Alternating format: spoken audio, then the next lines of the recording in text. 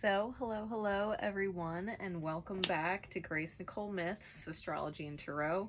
These are the full moon in Capricorn Goodbye Shadow secret code name readings. For those of you who are unfamiliar with secret code names, uh, individuals purchase them via my Etsy shop, which is in the description below. All right, they go to my Etsy shop, they purchase them, and I say, Hey, I got you.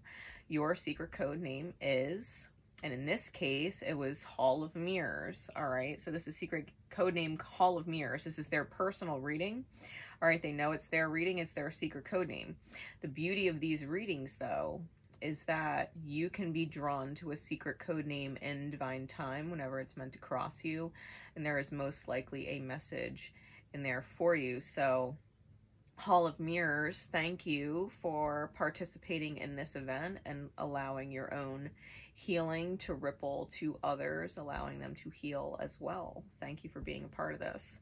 All right, for today, I am using my Night Sun Tarot to reveal what the shadow is, and then my Shadowscapes Tarot as to insight on how the universe, spirit, God, whatever you want to call it, is um, helping you get rid of the shadow, right? Say goodbye to it. So, here we go.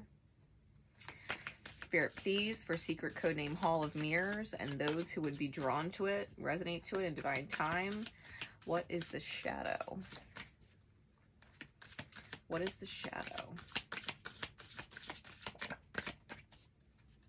That they are saying goodbye to with this full moon in Capricorn. What is it?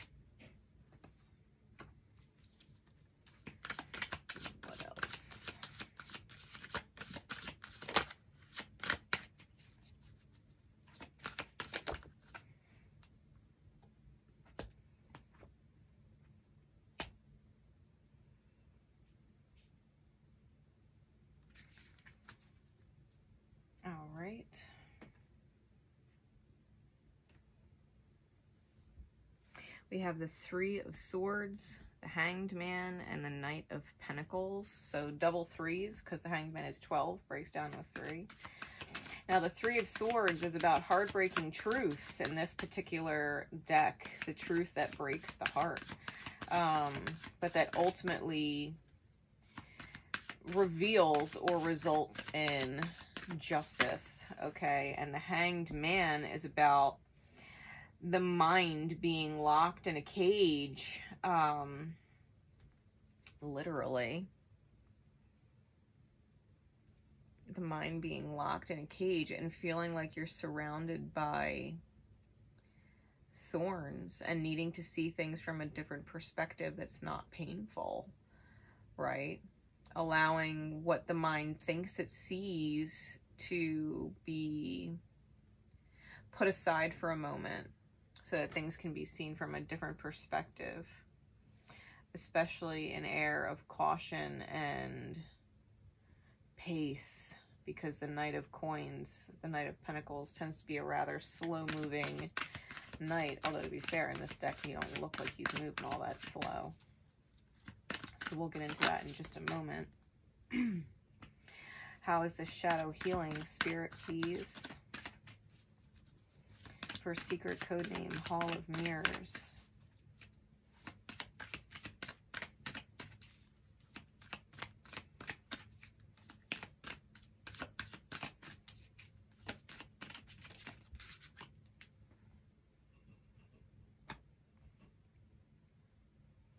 All right, clarities, please.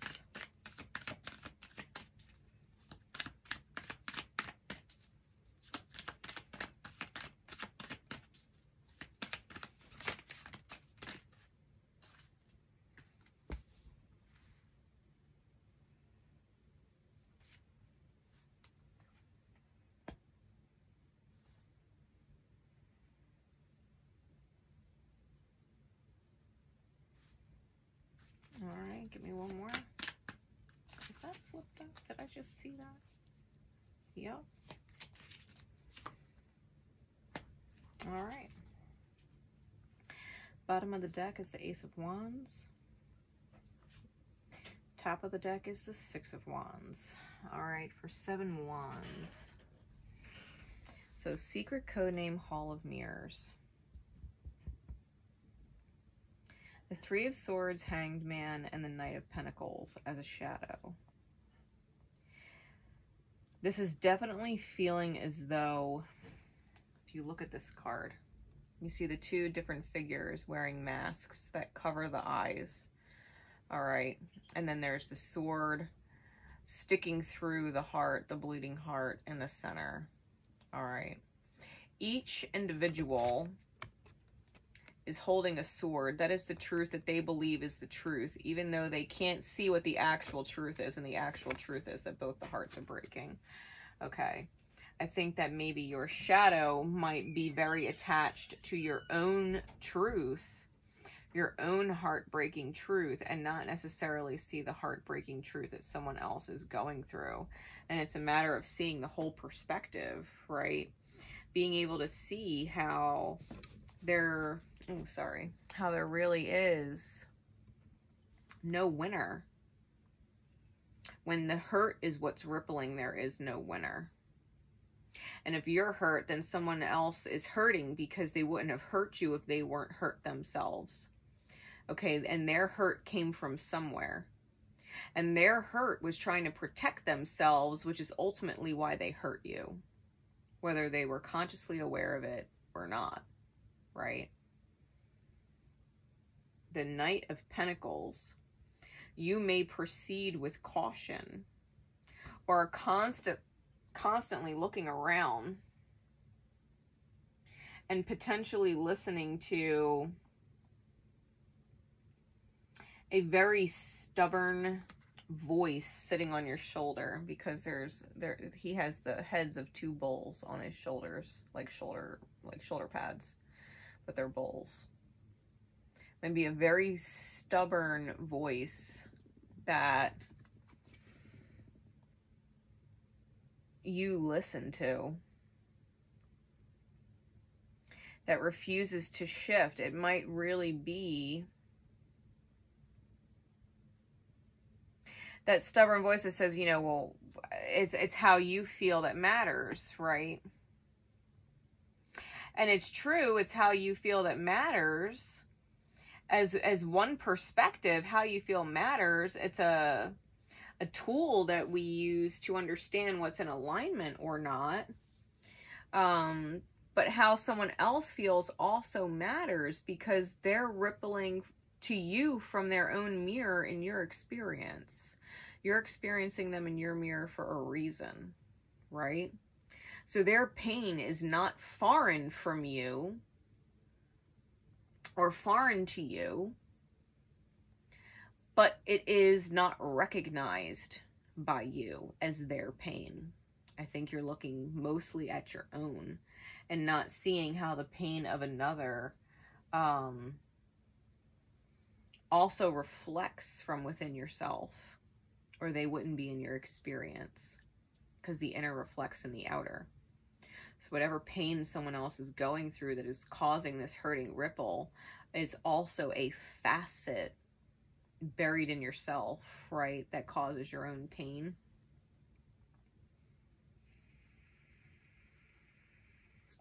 It might have a lot to do with ego and pride and not wanting to be wrong because you may have been taught from a very young age that everything you do is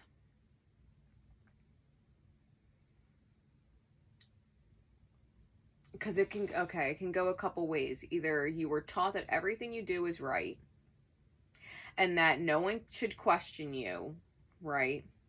And that you're always right. Or you are consistently told that you're wrong, that your way is wrong, that your thought process is wrong, and you've come back with a stubbornness that says, No, I'm right, right? And there's been a resistance that's consistently shown up in your life, right, from you that you're constantly resisting and, and batting heads or, or butting heads with people. Like, um, because they're telling you that maybe you're incorrect or there's a better way and you're insistent that there's not that your way is correct and so there's been this pattern of self-defense um,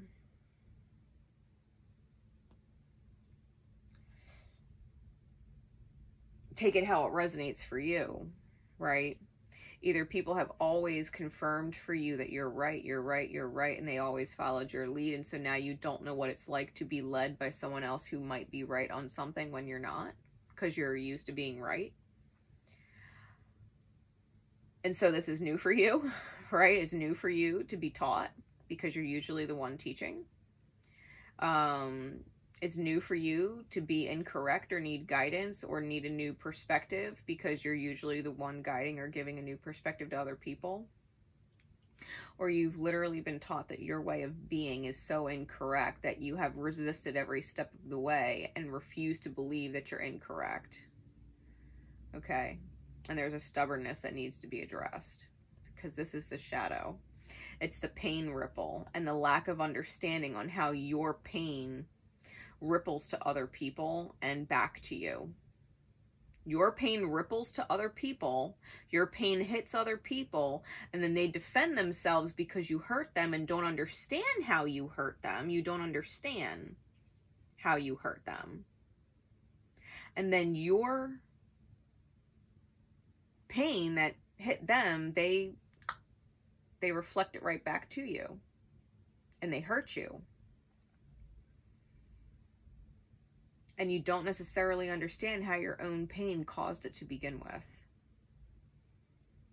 How your own choices or your own behavior or your way of communicating or your way of intuiting things or your way of believing, right? Because the hanged man is Piscean energy, it's based on beliefs,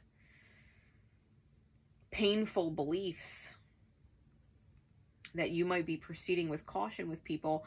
You don't understand how your own fear of pain hurts another person and how that hurt that you that you projected onto them with your choices uh, ultimately ends up reflecting back at you right via their own pain body because your own self-defense puts them on self-defense and when they're on self-defense you get hurt. So it's this ping pong that you experience that maybe you are not privy to seeing okay it might be very easy for you to point the finger at someone else and say, you know, well, they did this and they did that. Okay, but why though? Why? What pain were you choosing from that put them on high alert that this is a person who could hurt me because they're choosing these actions or they're talking to me in this way or they believe this? And those beliefs or those behaviors or that way of communicating hurts me and you put them on self defense. And once they're on self defense, it's their hurt and their fear, right? Because choices from fear is a pain, is a painful ripple. Um, their fear based choices reflect back at you. And it's because you were making fear based choices around them to begin with.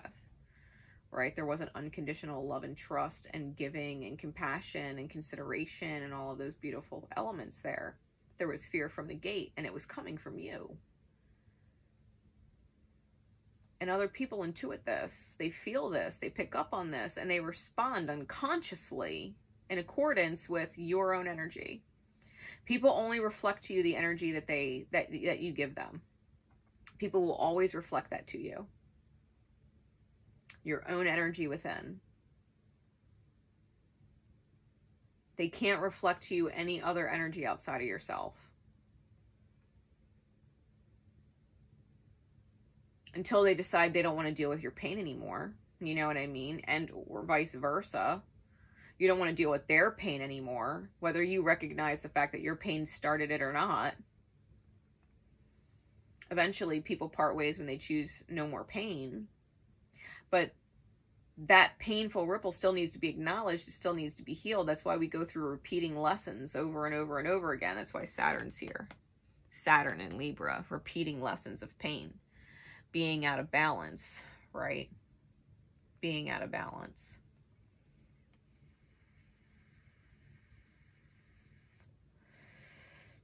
As we get into the Shadowscapes Tarot on, on what this healing looks like.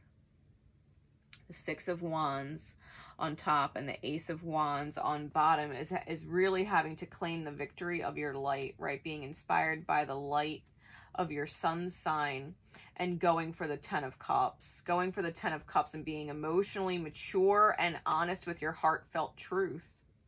This is the Queen of Swords and the King of Cups. Being emotionally mature in your heartfelt truth in order to receive the Ten of Cups, which is the ultimate fulfillment, right? Emotional fulfillment, feeling full, feeling satisfied with life, and not feeling like there's always something missing because if you're always feeling like something's missing if you're always feeling like something's not good enough it's because you haven't healed something within yourself. You have a pain body in there that is rippling to everybody that you touch. And eventually everybody you touch is going to reflect that pain back at you and then you're going to blame them and not see it and and not take a look at yourself right? And that has to stop. That cycle has to stop You've got to be able to claim the victory and start fresh and new and reinvent yourself and be inspired by your light. Because the tower, the tower moment that's hitting is with the Seven of Wands. And it's you defending yourself against someone who is just being authentically them and reflecting back your own energy you might be defending, right? You could be the badger against a group of people who are all in alignment and be coming off like the villain when, you know, you don't feel like the villain and everything is collapsing. Or you're like the fox defending things against a badger you feel is so different from you, it's nothing like you, and yet you're the badger you think you're the fox and you're with all of these like energies and you're all the same and you all feel the same and you all view the same and you all believe the same. And this badger is the one that's the problem. When really it's your own pain ripple that's causing the badger to be the problem. In the mirror of things you're also the badger. You're also the problem. You're identifying yourself as one or the other when you're both, and that's the tower. That's the tower. It's the failure to recognize that you are both.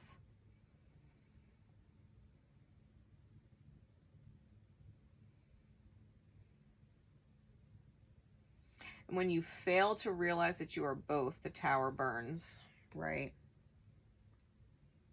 The tower burns. And the whole tree, the family tree, the life tree is on fire. It's it's been lit by the divine. It's it's lightning struck.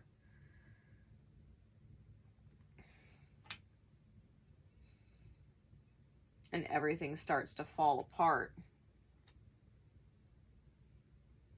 And then you find yourself on your own with the Ace of Cups, having to love yourself, nourish yourself, remember who you are, that you're overflowing person, and going through that whole bit, you know, and you can't forget that you can't feel sorry for yourself when you're without the home, right? When the Five of Pentacles shows up because the home has been burnt to shit by the divine. It's because there's a truth here with the Ace of Swords that needs to be recognized and understood. That sword of truth is justice for the hurt that is not healed in the heart space.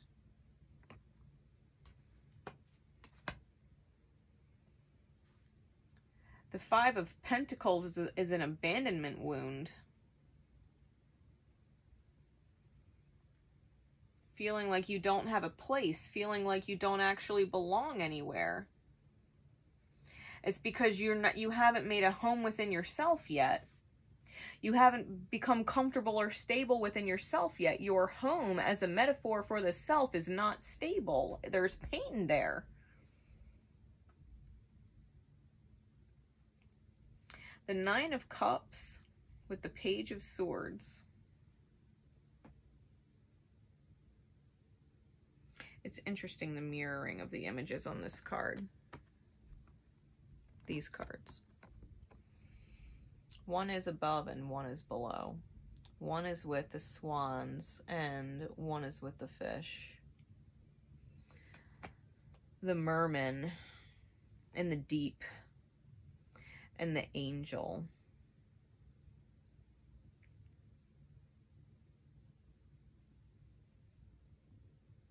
Your wish fulfillment with the Nine of Cups, the wish you have deep down inside yourself that you want to create masculine energy, right? The merman. The wish you have deep down in the self that you want to create it comes with beginner's mind. It comes with a beginner's feminine heart space. Imagining who you'd be before the world and life tainted you. Secret code name Hall of Mirrors. You're seeing reflections of yourself everywhere and everyone, and yet failing to recognize them as you. You're like, no, that's just a that's just a reflection in the Hall of Mirrors. That's not really me. I'm I'm me right here. I'm me right here. That's just a that's just an illusion. That's not me. It's just reflecting me. But that's not me, but it is. It is you. It is a reflection of you. You're seeing many reflections of you. The more people you have in your experience, the more reflections of you there are. There's facets of you in every single person that's in your life. Are they a shy person? Are they a loud person? Are they a nervous person? Are they an emotional person? Are they a smart person? Are they driven? Are they creative? Are they angry and volatile? Are they in pain? Who's in your mirror. They're all facets of you.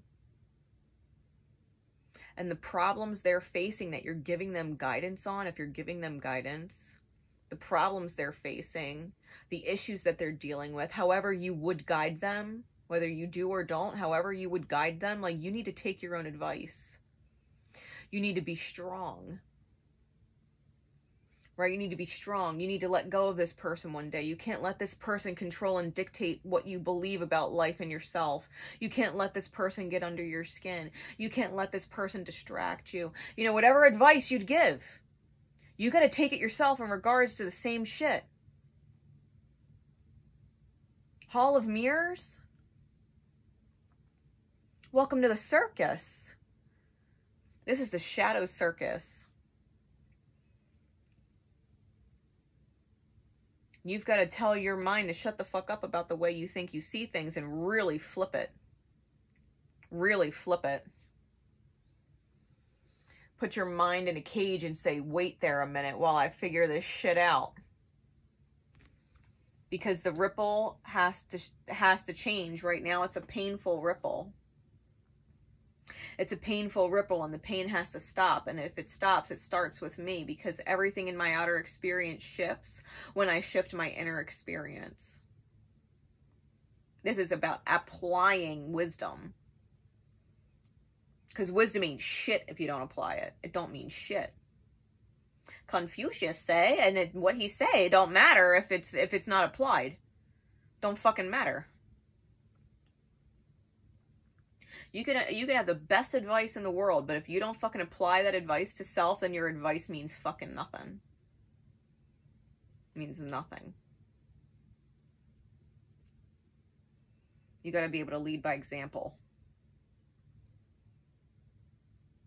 You got to be able to lead by example. You can't lead with guidance. You can't lead with advice. You got to take your own guidance and you got to take your own advice. You got to lead by example. You got to apply it show people how it's done. Watch me. I'm going to make it look easy because it is. You can do it too.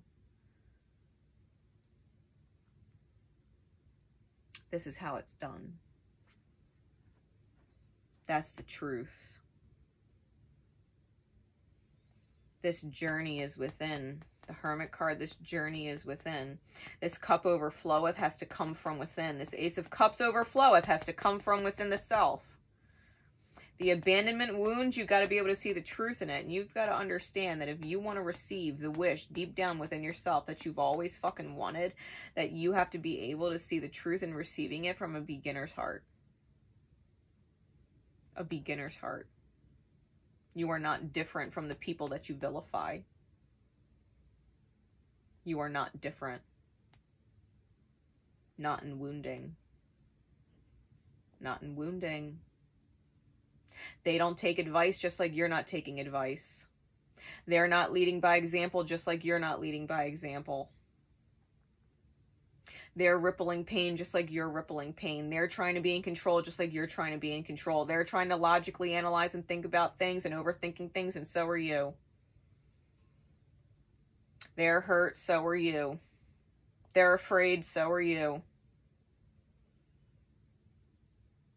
They're an obnoxious fucking asshole. Guess what? You're an obnoxious asshole to spirit. Like, spirit's like, what the fuck are you doing? You know what I mean? Think about the perspective.